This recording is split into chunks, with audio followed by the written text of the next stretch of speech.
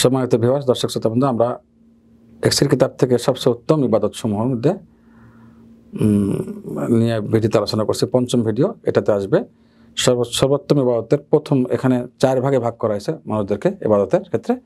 প্রথম প্রকার প্রথম প্রকার হলো সবচেয়ে উত্তম ইবাদত যারা মনে করে, সবচেয়ে উত্তম ইবাদত মনে করে, যে নফসের জন্য যেটা কঠিন হবে, সেটা সবচেয়ে উত্তম ইবাদত।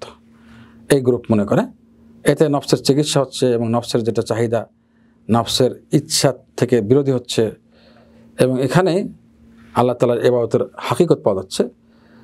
কেননা উসুল বা শরীয়তের নিয়ম হলো আল্লাহ আজুর আলা কাদের মুশাক্কা। যেমন কষ্ট বেশি হবে, তত বেশি সব হবে। তো নফসের জন্য কষ্ট করা আমলেই সব বেশি হয়। এই দলকে বলা হচ্ছে আহলুল মুজাহিদাত যা নাকি নফসের সঙ্গে সবসময় জিহাদ করে। এই গ্রুপটি। সালাম আলাইকুম রহমতুল্লাহ বাকাত